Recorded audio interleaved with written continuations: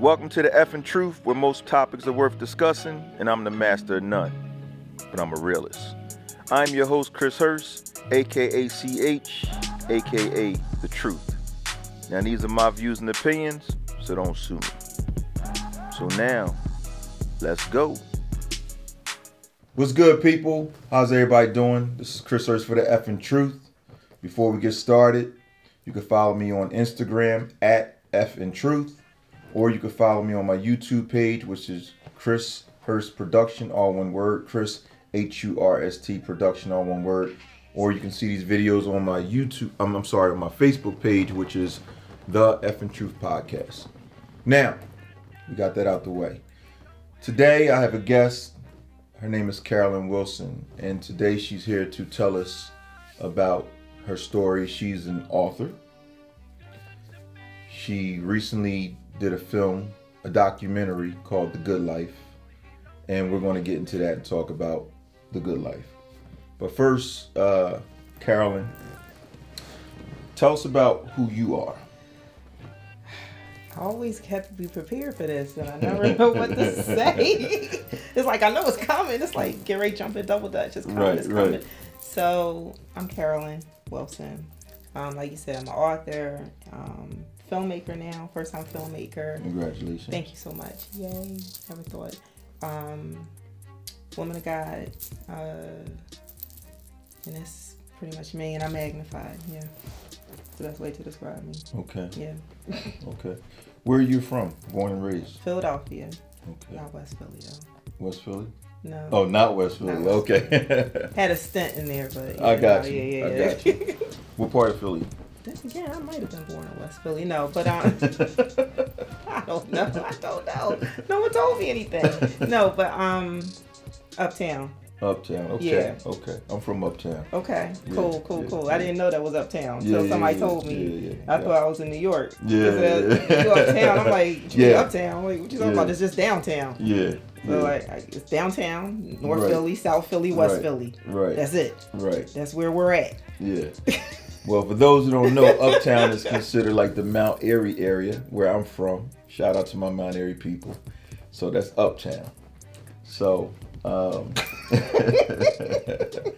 but you're from East Oak Lane, is Uh, it? yeah, northwest section of the city, East Oak Lane, West Oak Lane, Oak Lane, somewhere up in that little I got you. Yeah, I got you. Okay. boundaries are kind of. I understand. Yeah, yeah, I yeah. got you. Up there.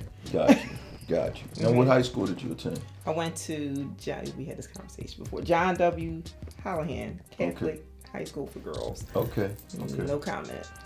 Okay, there we're gonna leave it at that. Yeah. Okay. I mean, it's Catholic. Like It's- I'm, I'm a public school guy, so I yeah. can't, you know, I can't. Can't relate. Yeah, Yeah, yeah, Can't relate. I'm different- Catholic school girl. Can't, Yeah. can't, can't relate. You know, I'm Central two four seven, so you know.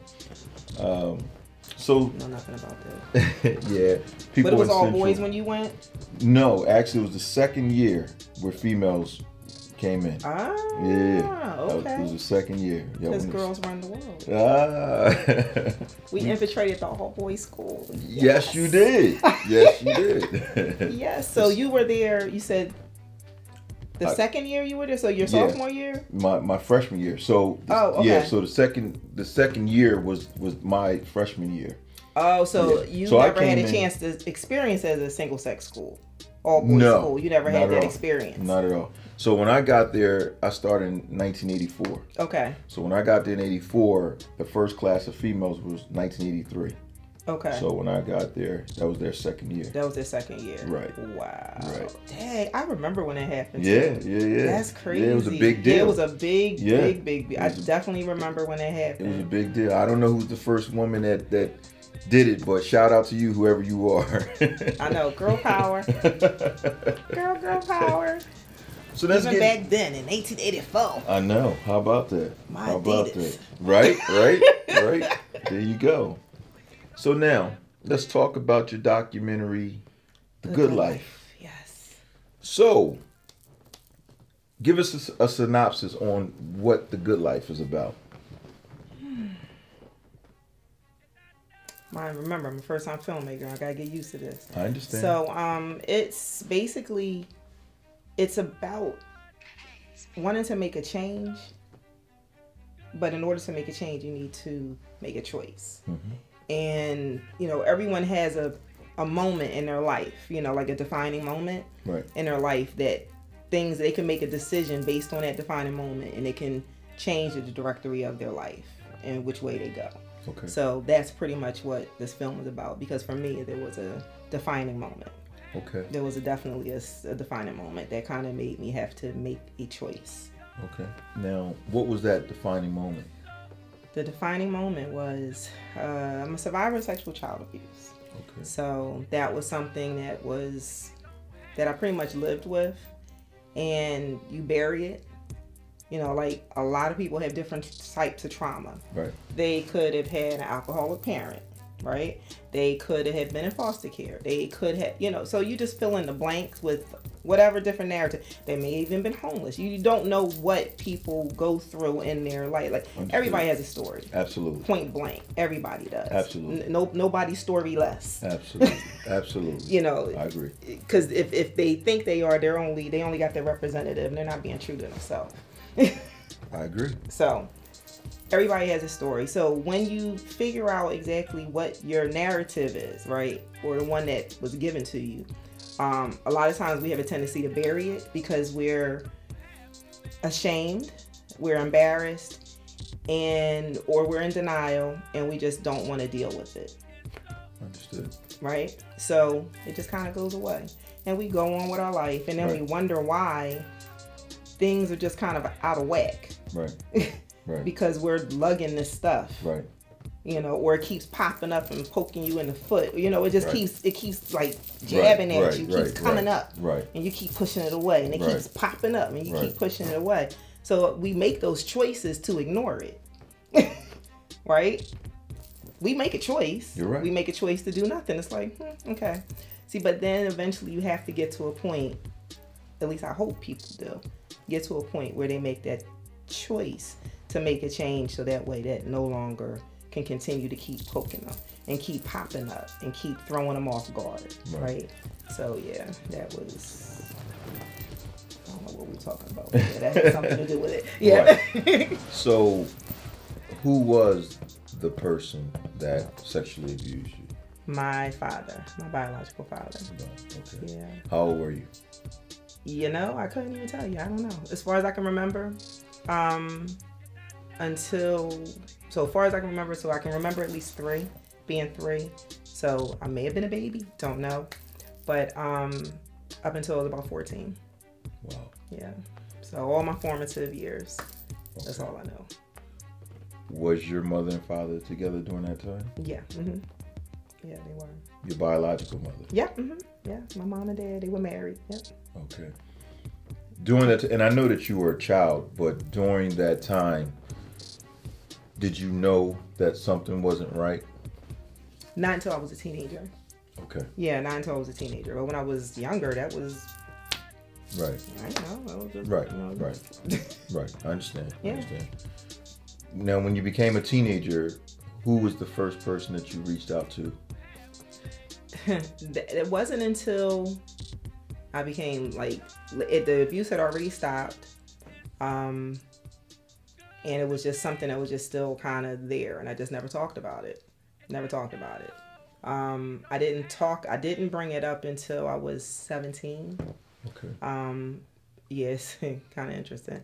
I remember even watching. Remember the after school special, the ABC after school special. Yeah, yeah. I Remember those? Yes, yes, I do. after Yes, I do. school specials. I remember w- sitting down watching the after school special with my grandmother um, when they were, and one of the episodes was about child molestation. Oh wow. And I remember sitting there going, feeling so uncomfortable. And my grandma was like, "Oh wow, you know, we're just because it's like watching Lifetime, you know, Right. it's the modern day, well, the back in the day version of Lifetime."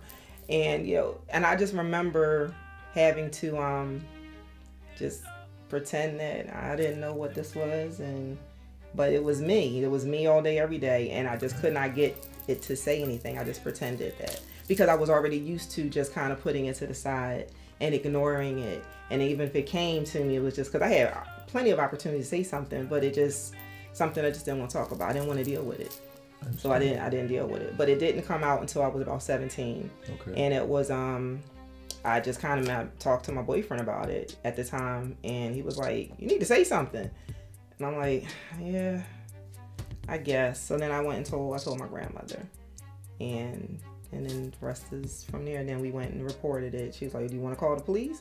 Mhm. I was like, "Yeah." So I was 17. Now, your grandmother was it his mother or No, my mother's mother. Your mother's mother. yeah, Okay. yeah, my mother's mother. So, but I went to my grandmother, then told her, Okay. and then we told my mom together. But I, I went to my grandmother. Okay. And how did your mother react to it? Um, she was, you know, you kind of hear this, and it's it's it's typical. She was in shock. She was kind of in denial. Okay. Um, and she just kind of didn't really know how to deal with it. At the time, were they still together? Like, They were by that time. They were together, together apart. okay, okay, okay. you know, like he wasn't in the house any longer. Um, cause we were living with my grandmother. okay, So when he was wherever he was doing whatever he was doing, okay, and then it was kind of like she needed him to take him to the, you know, cause she never, she didn't drive, so she was fully dependent upon him, even though he wasn't in the house any longer. okay. So it was like said, it was it was like a together together part type. I don't know what their situation was. understood. Yeah. understood. I understand. Yeah, he was just a father from afar. Okay. Now, are you the only child? Yes. Okay. Yeah. Well. Is that another story? Yes. yeah. That's that's yeah.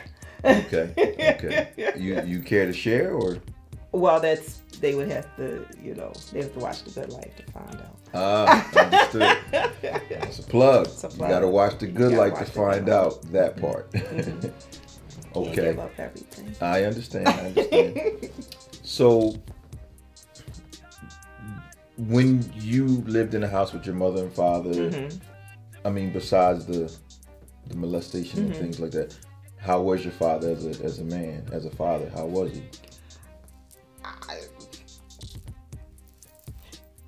I mean, we did father daughter stuff like you know um, going to the park and um, singing goofy songs and reading book. You know, like Right.